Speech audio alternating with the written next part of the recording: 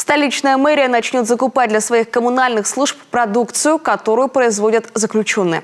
Мэр Сыктывкара с руководителями муниципальных предприятий побывал в исправительной колонии номер 25.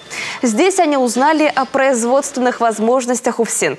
Швейный цех, лесопильные участки, современные сушильные комплексы. Есть даже технологическая новинка – фрезерный станок с числовым программным управлением, который позволяет производить сувенирные изделия любых форматов – а в цехе металлообработки гостям продемонстрирован станок с функцией плазменной резки. Здесь есть очень интересный каталог продукции, который заинтересовал наше предприятие.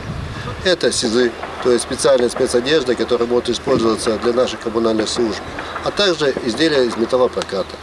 Был очень интересный разговор, обсудили проблемы, которые мешают нашему более плотному результативному взаимодействию. Сегодня мы начали новый этап. Я думаю, что у нас будет результативность нашей совместной работы. Сегодня к труду на производстве исправительных учреждений привлечено более 1200 осужденных.